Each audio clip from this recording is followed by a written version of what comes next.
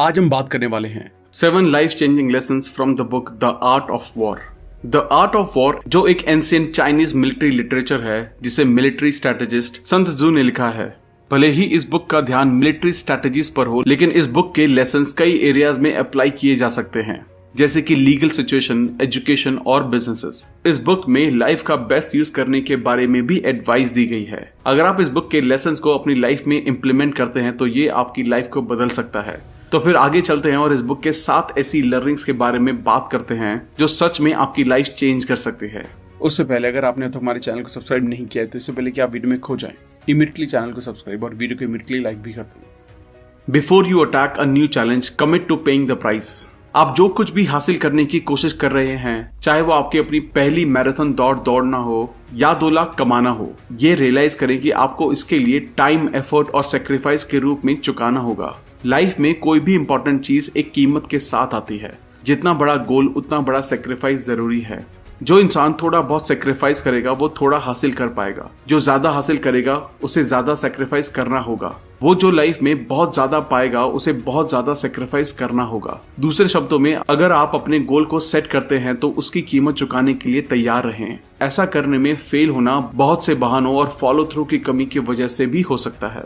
इससे पहले कि आप कुछ भी अकम्प्लिश करें, अपने टाइम एफर्ट और सेक्रीफाइस के बारे में सोच लें और आने वाले टाइम में कीमत चुकाने के लिए कमिटेड रहें। इसे अपने गोल के साथ एक पेपर पर लिखें और डिसाइड करें कि क्या आप जो चाहते हैं, उसे पाने के लिए आप कुछ भी करने के लिए तैयार हैं। आप जब भी स्ट्रगल कर रहे होते हैं तो अपने गोल को न केवल दोहराएँ, बल्कि जो भी करते हैं, उसमें भी अपनी कमिटमेंट को बार बार चेक करें। जब आपके पास एक ऐसा गोल हो जिसके लिए लड़ा जा सके तो कभी हार मत मानो। Planning and preparation are the key to success एक मिलिट्री स्ट्रेटेजिस्ट के रूप में ऑथर जानते थे कि बैटल की प्लानिंग करना और बैटल फ़ील्ड पर उसकी पूरी तैयारी करना ज़रूरी था। वो बैटल स्ट्रेटेजीज के बारे में अपनी नॉलेज और अंडरस्टैंडिंग को रिफाइन करने में अनगिनत घंटे बिताते थे और अगले चैलेंज के लिए बेहतर तरीके से तैयार होने के लिए उन्होंने जो भी सीखा है, उसे लिखते थे। उनके इस कंसिस्टेंट सीखने की आदत ने उन्हें उस टाइम में लगभग हर किसी से बेहतर द आर्ट ऑफ़ वॉर को समझने की एबिलिटी दी। हालाँकि ऑथर भी जानते थे कि सिर्फ़ प्लानिंग करना काफ़ी नहीं है। यहाँ तक कि पूरी तरह की की गई प्लानिंग भी फेल हो जाएगी अगर उसके सोल्जर उस प्लानिंग को एक्चुअल में इम्प्लीमेंट नहीं कर पाए। बस को जानना काफ़ी नहीं है। आपको उसे इम्प्लीमेंट भी करना आना चाहिए। ऐसा करने के लिए वो अपने सोल्जर्स को हर फॉर्मेशन तक ड्रिल करते थे और हर मूव को इतनी बार दोहराते थे कि वो सेकेंड रियलिटी बन जाए। उसके सोल्जर्स इतने डिसिप्लिन हो गए कि उन्होंने हर ऑर्डर को फॉलो किया। केवल इन्हीं चीज़ों के कांस्टेंट प्रिपरेशन और रिपीटेशन के तरीके से उनके सोल्जर्स ने एक साथ लड़ना सीखा, साथ ही साथ उनके हर ऑर्डर्स को फॉलो किया, चाहे वो लड़ाई कितनी भी डरावनी क्यों ना हो। अल्टीमेटली आपके लाइफ डिसाइडिंग मोमेंट में आपकी सक्सेस और फेलियर के बीच का फैसला करता है, वो है पहले से आपका किया गया प्रिपरेशन जैसा कि आर रोल्स ने कहा था there are no shortcuts everything is reps reps reps कोई फ़र्क नहीं पड़ता है कि आप काम पर एक नई प्रोजेक्ट की तैयारी कर रहे हैं या आप अपनी पहली मैराथन की तैयारी कर रहे हैं। रिपीटेशन ही की है। जितना ज़्यादा आप किसी चीज़ को प्रैक्टिस करते हैं, उतने ही बेहतर आप होते जाते हैं। अगर आप हर हफ़्ते 50 किलोमीटर दौड़ते हैं तो आप शायद किसी ऐसे पर्सन को भी हरा देंगे जो ज़्यादा टैलेंटेड है, जो ज़्यादा काम नहीं करते। लगातार रिपीटेशन अपने आप को भीड़ से अलग करने का मौका देता है। अगर आप काम करने को तैयार हैं तो ऐसा कुछ भी नहीं है जो आप नहीं कर सकते। जैसा कि बेंजामिन फ्रैंकलिन ने कहा था by failing to prepare you are preparing to fail तैयारी करने में फेल होना मतलब आप फेल होने की तैयारी कर रहे हैं। वह गलती कभी ना करें। The battle is won in the mind long before it is won on the field इससे पहले कि आप बैटल ग्राउंड में पैर रखें, अपने मन में जान लें कि आप जीतेंगे। अपने आप में और अपनी एबिलिटीज में विश्वास को डेवलप करें कि आपकी लाइफ में जो भी चैलेंजेस हैं या जो आएँगे आप उन पर भी जीत हासिल कर सकते हैं। किसी भी चैलेंज का सबसे मुश्किल हिस्सा, चाहे वो कोई भी काम है, वो है सही स्टेट ऑफ़ माइंड में रहना। यह अपने आप में शांत आत्मविश्वास विकसित करने और आपकी तैयारी के बारे में है ताकि आप जान सके कि सक्सेसफुल होने के अलावा कोई और रास्ता नहीं है। जैसा कि legendary basketball coach John Wooden ने कहा सक्सेस ये जानने से आती है कि आपने उसमें अपना बेस्ट देने की पूरी कोशिश की है जो आप बनने के कैपेबल हैं। दूसरे शब्दों में इसका मतलब यह है कि आपने अपने आप को तैयार करने के लिए सब कुछ किया और जिस तरह की नॉलेज और एक्सपर्टाइज आपने हासिल की है, वह आपको सबसे चैलेंजिंग सर्कमस्टांसेस में भी आगे ले जाएगा। इससे पहले कि आप लाइफ में अगली लड़ाई लड़ें, चाहे बड़ी हो या छोटी रियलिटी में जीतने से पहले अपने दिमाग में जीतें। अपनी जीत को विजुलाइज करें और अपने आप को आपके काम में सक्सेसफुल होते हुए देखें। Break down big task into smaller ones अपनी बुक में ऑथर बार बार एक लाख से ज़्यादा लोगों की आर्मी को डायरेक्शन देने के बारे में बात करते हैं। इंटरनेट और मास कम्युनिकेशन टेक्नोलॉजीज़ के बिना कोई ये कैसे कर सकता है? कोई एक ही टाइम में इतने लोगों को कैसे कंट्रोल कर सकता है? ऑथर के अकॉर्डिंग ये सिंपल है। आप कुछ सौ या हज़ार लोगों को एक ग्रुप में रखते हैं और उन्हें एक मानते हैं। अचानक एक लाख लोगों को इंडिविजुअली डायरेक्शन देने के बजाय आप कुछ बड़े ग्रुप्स को डायरेक्शन देकर उन्हें कंट्रोल कर सकते हैं। आप उन्हें अच्छे से मैनेज करने के लिए एक बड़े काम को कई छोटे छोटे पार्ट्स में तोड़ देते हैं। किसी भी गोल को टैकल करने के लिए एक ही कॉन्सेप्ट को अप्लाई किया जा सकता है, जो पहली बार में थोड़ा टफ लग सकता है। जब आप अपने गोल को ऊँचा सेट करते हैं तो काफ़ी बार आपके पास सक्सेसफुल होने के लिए कोई रेफरेंस पॉइंट नहीं होता है। यहाँ कहने का मतलब ये है कि आपने कभी भी ऐसा कुछ नहीं किया है, और इसलिए आप यह नहीं जानते कि आप वास्तव में ऐसा करने में सक्षम हैं या नहीं।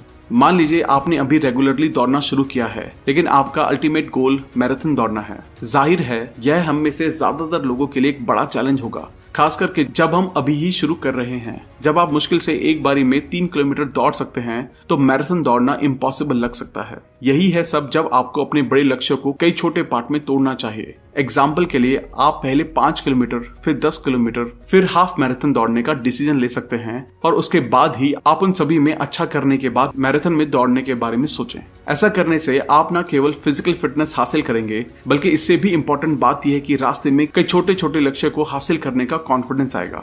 अचानक से मैराथन दौड़ने का बहुत बड़ा गोल भी मैनेजेबल हो जाता है, क्योंकि आप जानते हो कि आप अपने आप को हर कदम पर तैयार कर रहे हैं। Be flexible in your methods not your result the art of war में लाइफ में, ये ज़रूरी है कि आप सरकमस्टांसेस को अनुकूल बनाने में सक्षम हो, जो आपको उन चीज़ों को करने से रोकती हैं, जिन्हें आपने करने की प्लानिंग बनाई थी। ऑथर ने कई बार डिस्क्राइब किया है कि कैसे अनएक्सपेक्टेड सरकमस्टांसेस के आने के बाद उन्हें अपनी प्लानिंग बदलनी पड़ी। चाहे वो मौसम हो, युद्ध का मैदान हो, उसके दुश्मन हो, या अपने सोल्जर की बीमारी हो, उन्हें नए रियलिटी के अकॉर्डिंग अडॉप्ट करना पड़ा और उससे निपटना पड़ा। लाइफ की रियलिटी ये है कि जब ऐसी सिचुएशन है जिसके बारे में आपने सोचा ना हो तो हमें अपने प्लान्स को बदलने की ज़रूरत होती है। आपके द्वारा यूज़ किए जाने वाले तरीकों में फ्लेक्सिबल रहें, लेकिन उनके रिजल्ट्स में नहीं, जिनके लिए आप काम करते हैं। अगर एक तरीका फेल होते हुए दिखता है तो कुछ और ट्राई करें। हर चीज़ का रास्ता होता है। आपका काम बस उसे ढूंढना और फिर अपनी पूरी ताकत के साथ उसके साथ काम करना है। कभी भी अपने गोल को ना छोड़े क्योंकि ये हार्ड हो गया है। लेकिन इसके बजाय अपने आप से पूछे, मैं इसका यूज़ कैसे कर सकता हूँ? फ्यूचर में ये मेरी कैसे हेल्प कर सकता है? और अभी अडॉप्ट और सक्सेसफुल होने के लिए मैं अभी क्या कर सकता हूँ? अगर आप इसे एक रेगुलर हैबिट बनाते हैं तो आप जल्द ही पाएँगे कि हर प्रॉब्लम में खुद को और अपनी लाइफ को बेहतर बनाने की अपॉर्चुनिटी है। If you want to take the island burn the boats यहाँ पर एक रोमन सम्राट जूलियस सीजर की बात की जाती है, जो 2000 पहले नाव से इंग्लैंड को जीतने आया था। तट पर उतरने के बाद उनके सोल्जर्स ने जल्दी ही महसूस किया कि वो बहुत कम थे और ये डर फैलने लगा। सीजर ने लड़ाई की तैयारी करने के बजाय अपने सोल्जर्स को एक जल्दी और आसान वापसी के लिए जहाज़ तैयार करते हुए पाया। सीजर एक शानदार जनरल थे। वो जानते थे कि उसके लोग जिस हालात में हैं, वो लड़ाई पहले ही हारी जा चुकी थी। लेकिन उनमें शामिल होने के बजाय सीजर ने कुछ और करने का फैसला किया। उसने सारी बोट जला दी और इसलिए जब तक उन्होंने पूरे देश को जीत नहीं लिया, किसी ने भी आइलैंड को छोड़ने की उम्मीद नहीं की। इससे उनके सोल्जर्स और दुश्मनों को एक शक्तिशाली संदेश गया, जिस पल से उसने बोट्स को आग लगाई हर कोई जानता था कि उनके पास केवल एक ही गोल था, लड़ते रहना जब तक कि वो मर न जाए। रोमन के पास सिर्फ़ एक ही रास्ता था, लड़ाई को जीतना। और इसलिए सीजर्स को अपने सोल्जर्स की 100 परसेंट कमिटमेंट मिल पाई। अब हम इससे क्या सीखते हैं? अगर आपकी लाइफ में एक बड़ा सपना है तो आप अपनी बोट्स को जला दें, हर पॉसिबल एक्सक्यूज को मिटा दें और सक्सेस को ओनली ऑप्शन बनाएँ। सिर्फ़ तभी आप उस तरह की सक्सेस को एंजॉय करेंगे जिसमें आप कैपेबल हैं। अपने सपनों को साकार करने के लिए अपना पूरा एफर्ट करें। और फेलियर को कभी भी फाइनल ना माने। अगर आपके पास अपने सपने में फेल होने से बचाने के लिए एक नाव है तो आप जो सबसे अच्छा काम कर सकते हैं, वो है इसे जला देना। यह हमेशा आसान नहीं है, लेकिन तभी आप अपना 100 परसेंट दे पाएँगे, और जबकि बाकी लोग अभी भी बहाने ढूंढ रहे होंगे। बोट्स को जलाओ, और तब तक कभी हार मत मानो जब तक तुम सक्सेसफुल नहीं हो जाते। लेस ब्राउन के वर्ड्स में it's not over until I win जब तक मैं जीत नहीं जाता, यह खत्म नहीं होगा। जब तक आप जीत नहीं लेते, तब तक खेल खेलते रहो, चाहे कितनी भी देर लगे। Expect the best but prepare for worst war की प्लानिंग करते टाइम ऑथर ने हमेशा सबसे खराब रिजल्ट्स के लिए भी तैयारी की। कोई फ़र्क नहीं पड़ता है कि उनके सोल्जर्स को कितना ट्रेन किया गया था। उनके दुश्मनों के थ्रू सरप्राइज़ मिलने के चांसेस हमेशा थे। लड़ाई में काउंटलेस चीज़ें और टेक्टिक्स होती हैं। सिर्फ़ दुश्मन के अगले मूव्स की तैयारी को सोचकर ही सक्सेस मिल सकती थी। इसलिए ये इम्पोर्टेंट था कि वो हर वक्त पॉसिबल सॉल्यूशन के साथ सबसे खराब सिचुएशन के बारे में सोचते थे। अपने दुश्मन के हर कदम के लिए उन्हें एक जवाबी एक्शन ढूंढना था। जब आप एक प्रोजेक्ट पर काम कर रहे हैं या कुछ और कर रहे हैं जो हमारे लिए इम्पोर्टेंट है तो हमें इसी तरह के डेडिकेशन की ज़रूरत होगी और हर डिटेल में जाना होगा। बहुत सी चीज़ें होती हैं जो किसी भी प्लानिंग के साथ गलत हो सकती हैं। इसलिए पहले से ही इसको समझें। और पॉसिबल सॉल्यूशन के साथ इसे रोकें या डैमेज को कम करने में यूज़ करें। हालाँकि यहाँ इसका मतलब ये नहीं है कि हमें हमेशा ये देखना चाहिए कि लाइफ में क्या गलत हो सकता है। ज़ाहिर है, उस तरह का माइंडसेट ना केवल सक्सेस में अड़चन होगी, बल्कि लाइफ की सभी खुशी के लिए भी अच्छा नहीं होगा। अगर आप सभी चीज़ों को इमेजिन करते हैं तो हर चीज़ के साथ गलत हो सकता है। तो दुनिया एक अंधेरे और फ्रस्ट्रेटिंग जगह की तरह दिखाई देगी। इसलिए जीवन में खुशी के लिए ये इंपॉर्टेंट है कि आप हमेशा पॉजिटिव माइंडसेट रखें और चीज़ों को अपने तरीके से हो जाने की उम्मीद करें, जबकि आने वाली प्रॉब्लम्स की तैयारी भी साथ में करें। थैंक यू दोस्तों। आई होप ये वीडियो आपको पसंद आई होगी। आई होप आप इस किताब के सभी लेसन को अपनी लाइफ में अपना कर अपनी लाइफ को और भी बेहतर तरीके से जी पाएँगे। आप इस बुक को ऑर्डर करके और भी डिटेल में पढ़ सकते हैं। अगर आपने अब तक हमारे चैनल को सब्सक्राइब नहीं किया है तो इमीडिएटली चैनल को सब्सक्राइब वीडियो को लाइक और कमेंट भी कर दें। इससे हमारा मोटिवेशन कंसिस्टेंटली बढ़ता है। आप हमें हमारे इंस्टाग्राम पर भी फॉलो कर सकते हैं, जहाँ हम अलग अलग बुक की नॉलेज को डेली शेयर करते हैं। अगर आप हमसे कोलेबोरेशन या प्रमोशन में हेल्प लेना चाहते हैं तो हमें ईमेल करें। अगर आपको लगता है वीडियो दोस्तों को भी लाइफ में हेल्प कर सकती है तो सबके साथ इसे शेयर भी करें। जल्दी मिलेंगे और भी बेहतर वीडियो के साथ। Thank you so much